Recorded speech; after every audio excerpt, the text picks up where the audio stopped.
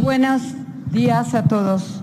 Presidenta, con enorme indignación y con profunda tristeza, quiero solicitar a mis compañeros diputados un minuto de silencio, sí, pero también horas de reflexión de lo que está pasando en nuestro país.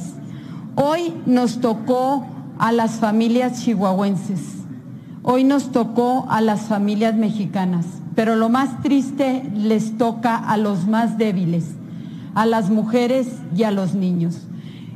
Hoy viajaban por caminos federales, sin embargo se encontraron con una gran tristeza porque los acorralaron y los asesinaron.